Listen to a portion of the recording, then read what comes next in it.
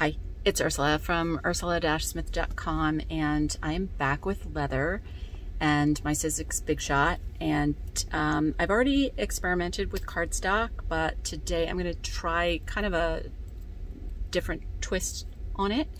Um, so thanks for joining me and here comes the idea.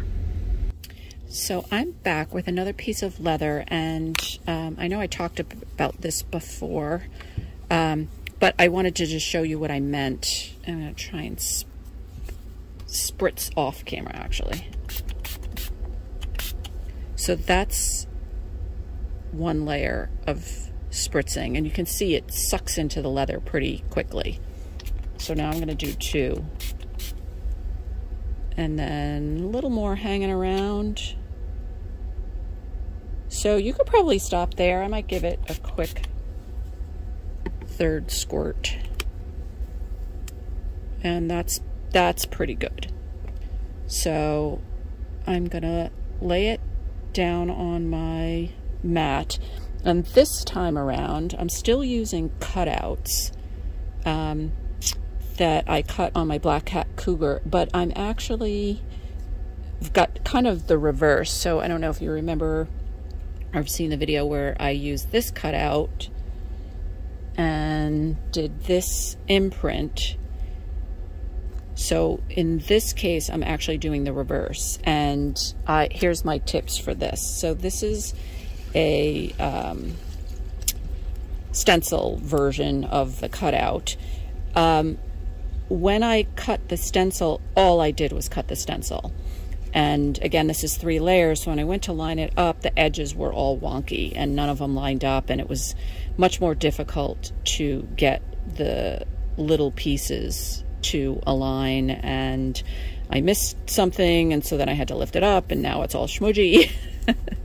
so my advice to you is uh, the next time I would uh, cut something like this, I would also cut the borders so that I can just basically line up the borders and glue it all together and it'll be a lot easier. Um, so uh, as in the first cutout case, you really want the good side down. Generally, this would have been the good side, but now it's all kind of wrecked. wrecked. So I'm going to give this second side a shot, even though it's it's got a little schmudgy there. Um, but I'm going to try it this way. And so, same thing, we want to line it up. And again, because I have different um, lengths of edges, I probably would have made them longer so that they would they would not be in they would not end on the leather because I'm going to get a ridge there. And so we're just going to go with it. So I'm going to try and it's going to be really hard to center it.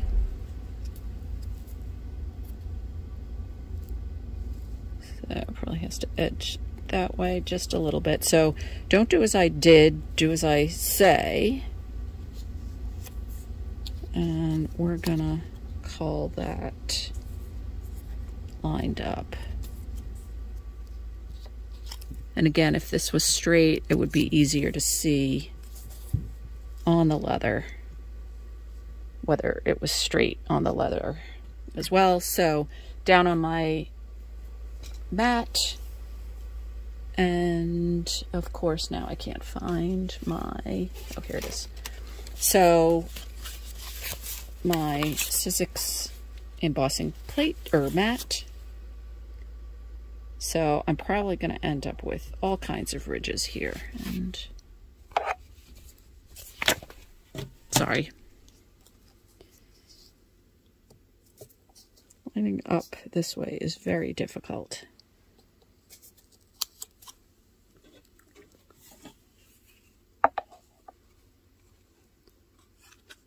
So, mat on top and then all my shims. And as in the last case, I need a pile of cardstock shims.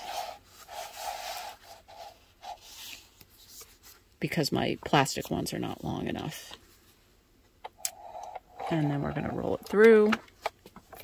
And this case, the platform and then one tab is down on this Sizzix Big Shot.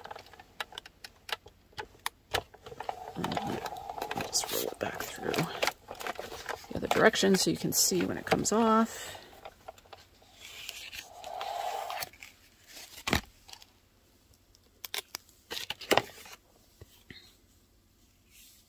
And so what we should see, hopefully, is the reverse of that. Oh, yeah, baby. So, uh, lessons learned here. Again, very hard to line up because I didn't cut the border. So the next time, so this is a three quarter inch um, piece of leather, what I would do is I'd cut the stencil, but then I'd cut the th three quarter of an inch uh, border around it. I'd make this side much longer so that I didn't get the ridges from the paper. But for my first attempt, not a bad, not a bad experiment. So I will go off and try staining these and seeing how it turns out. And then I'll post the results on my blog. So once again, thanks for joining me, and we'll see you next time.